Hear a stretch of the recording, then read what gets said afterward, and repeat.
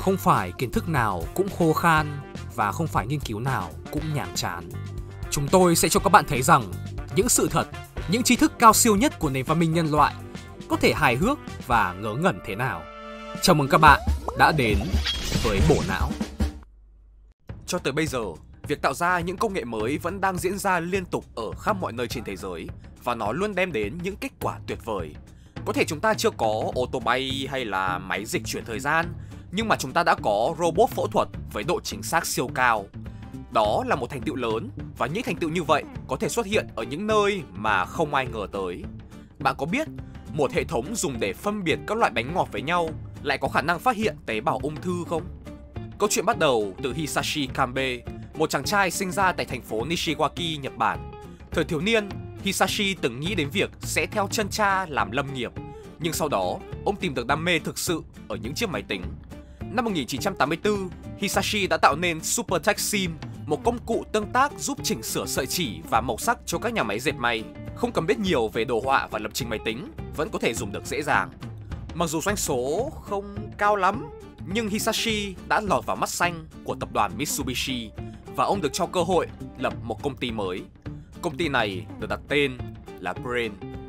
Trong vòng 20 năm, Brain tập trung chủ yếu vào một thứ thôi, đó là nhìn. Họ dạy cho máy tính cách nhìn và phân biệt vật thể cũng như ký tự. Vào năm 2007, Brain được một chuỗi nhà hàng lớn liên hệ hợp tác. Họ đưa ra vấn đề thế này. Nghiên cứu thị trường cho thấy có càng nhiều loại bánh thì lượng mua càng tăng. Một cửa tiệm có 100 loại bánh khác nhau sẽ bán được gấp đôi tiệm có 30 loại. Thêm vào đó, khách rất chuộng những loại bánh mà không được bọc giấy ni lông bởi vì họ nghĩ là nó tươi hơn. Có số thống kê cho thấy bánh không bọc bán nhiều hơn gấp 3 lần bánh mà có bọc.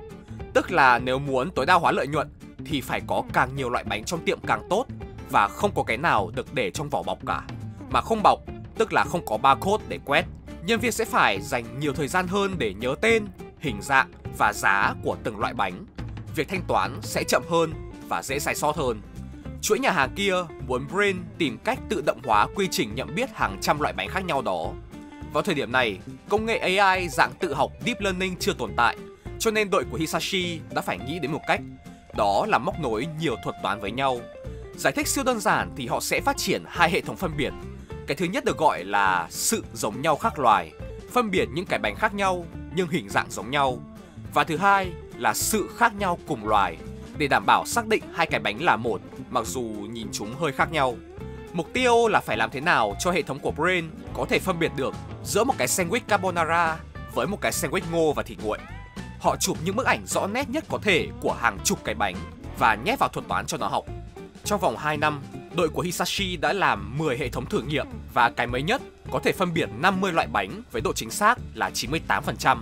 Nhưng đó là trong môi trường phòng thí nghiệm. Ở cửa hàng ngoài đời thì còn có yếu tố ngoại cảnh nữa. Ví dụ như là họ phải làm thêm thuật toán phụ để đảm bảo hai cái bánh chạm vào nhau không bị tính là một cái bánh to hay là thuật toán để dình cái bánh lại nếu như nó bị xé làm hai mảnh. Đến năm 2008 thì khủng hoảng kinh tế đã chạm tới Brain khiến cho nhiều nhân viên bị sa thải nhưng mà họ không bỏ cuộc. Công ty đặt cược tất cả vào bánh mì. Thêm 5 năm nữa chìm trong bánh.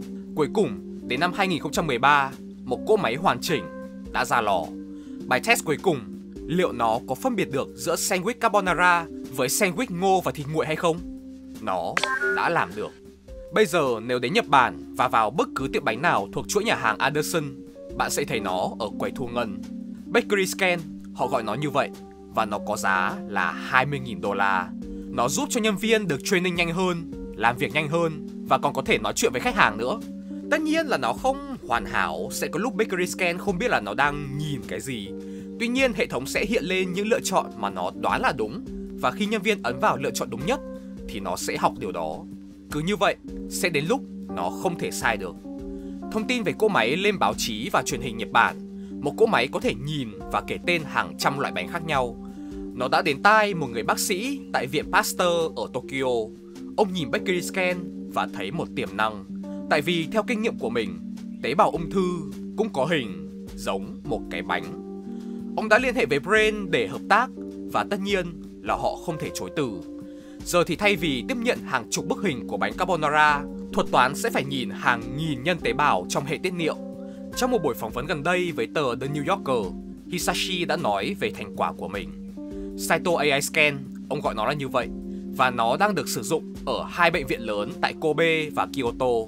Hệ thống của nó đã trở nên vượt trội hơn nhiều. Saito AI Scan không nhìn vào từng tế bào trong hình ảnh từ kính hiển vi, mà nó sẽ nhìn tổng thể và ngay lập tức thấy ngay đâu là tế bào ung thư. Khi được hỏi là Hisashi có sử dụng công nghệ mới nào không, thì ông nói như cũ, như cách mà chúng tôi phân biệt bánh mì. Công nghệ lõi của Hisashi giờ có cái tên là AI Scan và nó được dùng cho rất nhiều mục đích. Từ đơn giản như phân biệt các loại thuốc trong bệnh viện, đếm số người trong một bức tranh cổ thế kỷ 18, cho đến cực kỳ phức tạp như là hỗ trợ phát triển hệ thống laser X-ray không electron. Hisashi có lẽ sẽ không ngờ được nghiên cứu của mình có thể được áp dụng rộng rãi đến vậy, nhưng sự thật là nó đang khiến cho cuộc sống ở Nhật Bản nói riêng trở nên tiện lợi và hiện đại hơn bao giờ hết. Tất cả bắt nguồn từ một cái máy phân biệt bánh mì. Hisashi được làm công việc mà mình yêu thích cũng như đạt được thành tựu từ nó. Còn bạn thì sao? Giờ bạn có đang đi theo ước mơ của mình không? Bạn có đang hạnh phúc với công việc hiện tại không? Hừm? Hay bạn đang cố chịu nó vì đây là công việc duy nhất đem tiền về cho bạn và bạn không thể kiếm việc khác vì bạn chưa có đủ kinh nghiệm nhưng mà lạy chúa bạn muốn kết thúc chuỗi ngày làm đi làm lại này để đi theo đam mê tại sao bạn bè xung quanh bạn lại thành công mà bạn lại không? Bạn đã làm gì sai? Tôi đã làm gì sai? Nếu như bạn đã từng nghĩ như vậy thì bạn không cô đơn đâu. Ai mà chả muốn ngồi chơi mà hiện kim vẫn rơi vào túi. Nhưng mà đời không như mơ, bạn phải lao động thì mới nuôi được bản thân. Thậm chí đến cả lũ mèo lười biếng cũng từng có thời bị lôi đi làm việc cơ mà. Đúng vậy, tại nước Bỉ, mèo đã có thời gian trở thành người đưa thư. Đó là vào những năm 1870, chính quyền thành phố Leech tự dưng kêu gọi người dân ủng hộ mèo cưng của mình cho một cái thí nghiệm nào đó. Nghe thì hơi nguy hiểm, nhưng mà rõ ra thì nó thế này. Có một ông nào đấy ở Hiệp hội Mèo nước Bỉ một ngày bất chợt nảy ra ý nghĩ mèo tự biết đường về nhà, xong rồi leo trèo giỏi, chạy còn nhanh nữa. Thế thì chúng có thể trở thành những người đưa thư hoàn hảo đúng không? Không biết tại sao cơ mà chính phủ nghe xong cũng gật gù đồng ý và cấp phép luôn cho một buổi thử nghiệm.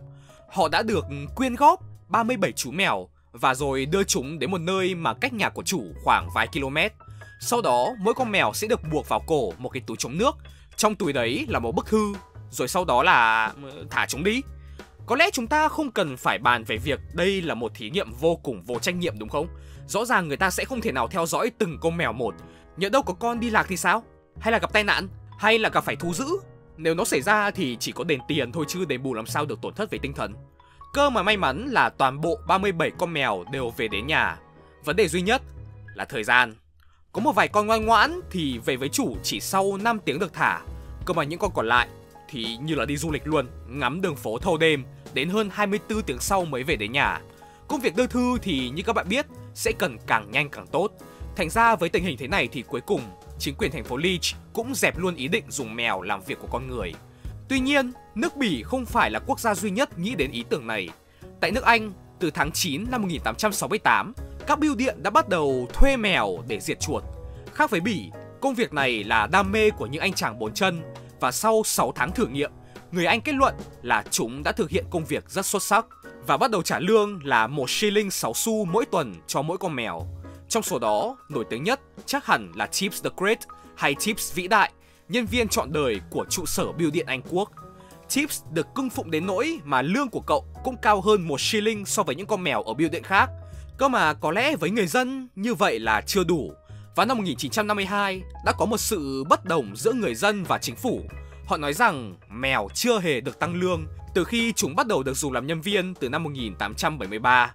Thậm chí đã có một buổi chất vấn tại Hạ viện Anh, nơi câu hỏi về lương lậu của mèo được chuyển tới cho trợ lý Tổng cục trưởng Tổng cục Biêu chính và Viễn thông.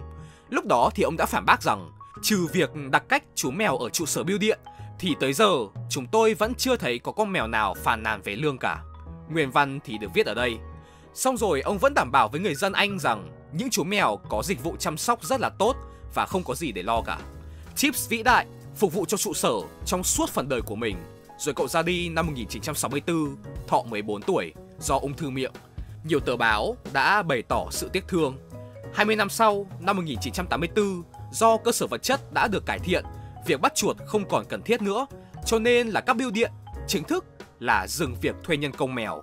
Và từ đó, mèo quay trở lại thành những tên hoàng thượng vô công rồi nghề ăn bám những con sen của mình.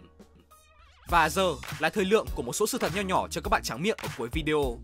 Hôm nay mình sẽ giới thiệu cho các bạn một loại phản ứng của cơ thể mà có thể các bạn đã gặp nhưng mà mình mong là không. Giới chuyên môn gọi nó là honeymoon rhinitis, dịch nôm na ra là mũi trăng mật. Và đó là tình trạng khi mà mũi của bạn sẽ tự dưng tắc khi mà bạn đang vật nhau trên giường với bạn đời hoặc đơn giản là khi bạn đang hứng. Phản ứng này có vẻ là do gen và nó là do mô cương trong mũi của bạn tự dưng phồng lên khi hưng phấn. Hay nói cách khác, khi bạn cương thì mũi bạn cũng cường. Nhưng thế không có nghĩa là nó chỉ xảy ra ở đàn ông, phụ nữ cũng có khả năng bị nữa. Một loại phản ứng khác cũng hài không kém thì được gọi với cái tên đơn giản hơn, đấy là hắt xì tình dục. Đó là một hiện tượng khi mà hưng phấn hoặc là đang trong hoạt động vật nhau thì bạn sẽ hắt xì liên tục và không ngừng được. Không biết là có thuốc đặc trị không nhờ tự dưng mình thấy thương những ai bị vậy quá. Vào năm 1590, tại Nhật Bản, lãnh chúa Toyotomi Hideyoshi đang tổ chức một cuộc xâm chiếm lâu đài Odawara của gia tộc Hoyo. Gọi là xâm chiếm, nhưng mà đoàn quân của Toyotomi lại không xung thẳng vào mà lại đứng ở ngoài ăn chơi nhảy múa. Cùng với đó là tấn công các chuyến hàng cứu trợ với kế hoạch là làm cho kẻ địch bên trong lâu đài hết lương thực và buộc phải đầu hàng. Tuy nhiên, đó không phải là ngón đòn duy nhất mà Toyotomi có. Ông đã cho bí mật xây một lâu đài trong rừng. Chắc chắn là nó không uy nghi lộng lẫy, nhưng mà nó được làm từ đá với những bức tường siêu to khổng lồ.